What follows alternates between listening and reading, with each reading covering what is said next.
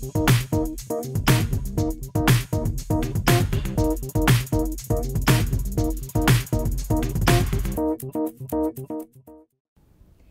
to this episode of Squawk on the Block Falcons. I'm Lexi. And I'm Seth. Although we are very ready for spring break, we can't leave without showing off all the hard work going on at Nation Ford.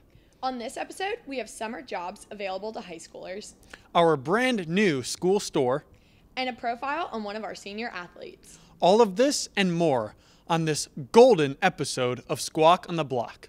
Golden? Just watch.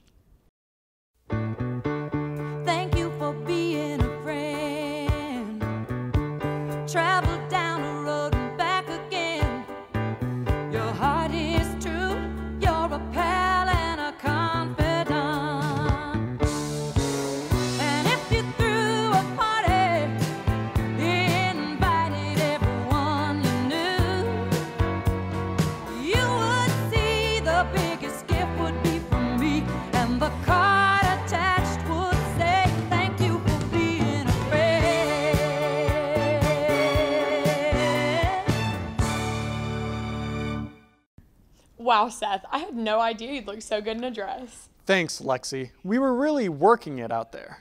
Many high schoolers are looking for ways to make money, but it can be difficult to find jobs you'll actually enjoy. Here's Phoebe Howie with some tips on finding the perfect summer job. We all know about working at restaurants or theme parks, but did you know that you could have a fun summer job that could actually turn into a career?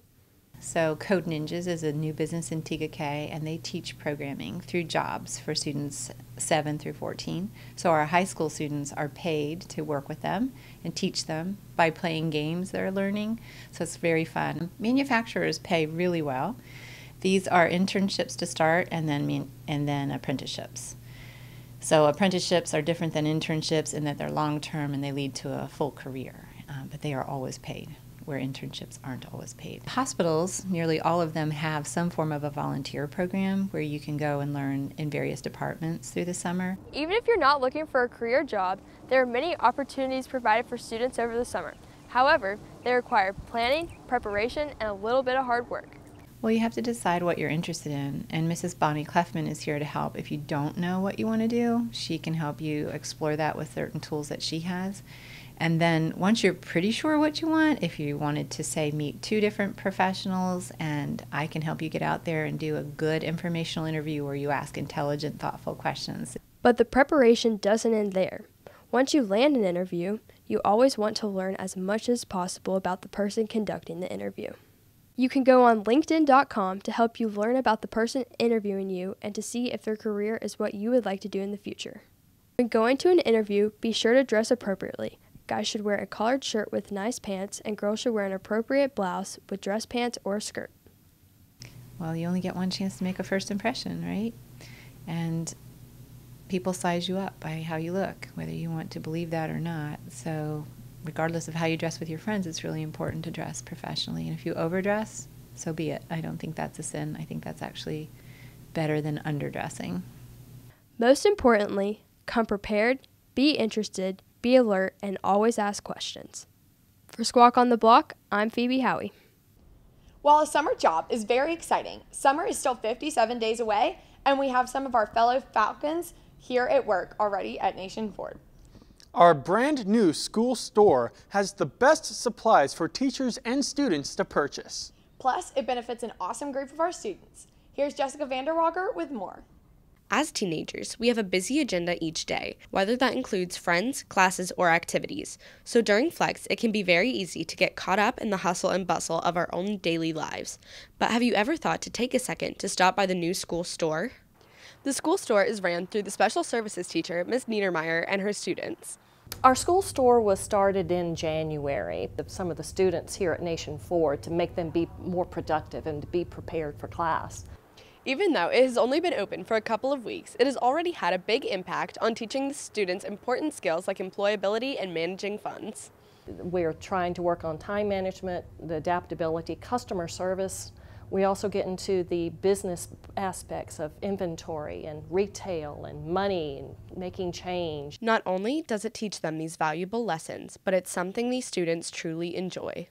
Um, my my favorite thing about the school store is to work and make some money. So before you go searching around your classes when you need a pencil, be sure to stop by the Commons during Flex to pick some up and support a good program at the same time. For Squawk on the Block, I'm Jessica Vanderwalker. While our school store offers a variety of new products, ordering things online may not always be what it seems. Here's Frank Martinez to test out some interesting products you may have seen on TV and let you know if they work. We've all seen those as seen on TV commercials for strange products, and it makes us wonder does it work? Well, we're gonna take a look at a few of those products today, put them to the test, and find out which ones actually work. First up is the sock slider. The idea for this contraption is to help you put socks on without having to bend over. It's all set up, now let's give it a try.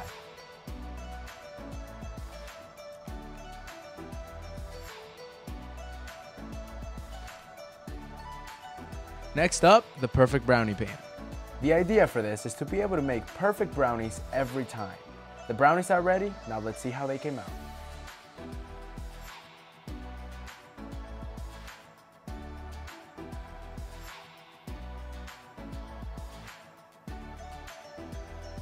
Lastly, we have Flex Seal tape.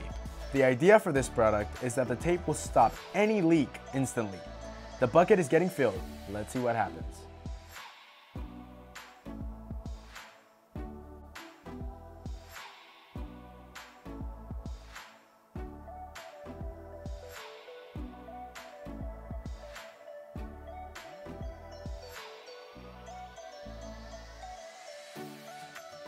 A perfect 3 out of 3. Does it work?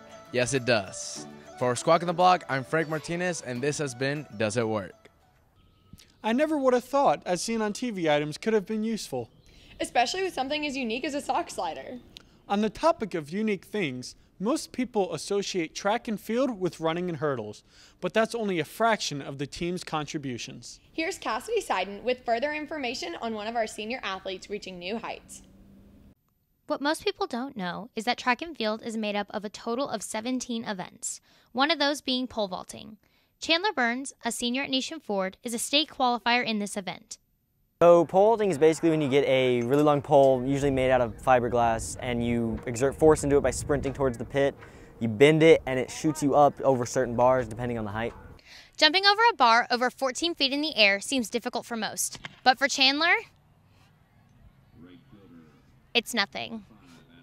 My mindset has changed in the fact that I used to do this for fun, and now I realize I kind of had something that I could work with, and I've turned it into basically my passion. Practicing for more than 20 hours a week has allowed Chandler to reach new heights in his athletic career for both the school and in life. For Squawk on the Block, I'm Cassidy Seiden.